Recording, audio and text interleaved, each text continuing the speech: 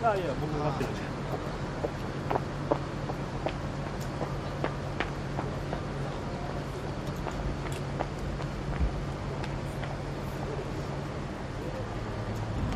るん亡くなった4人は何一つ声に出せません。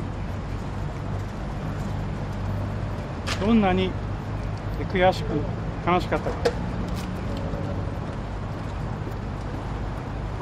私はこの年で身を絞ってでも訴えたいです。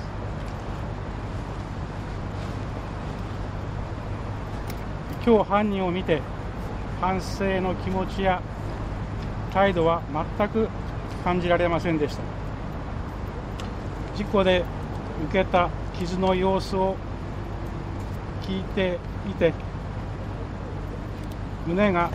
押しつぶされそうでした。絶対に犯人を許すことができないと思いました。本当にあの事件と真摯にね向かい合っているのかどうか疑問に思う態度でした。つまりあのどう弁解すべきかと、そこばかりにこう意を配ってですね事件を起こしたことに対する反省の気持ちなどはみじんも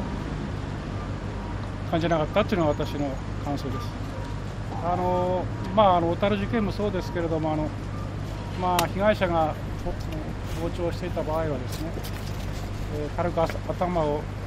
下げることも多いんですけれども、まあ、そういう素振りも一切なくですね、えー、どう弁解するかだけにこう救急とした態度非常に腹が立ちました。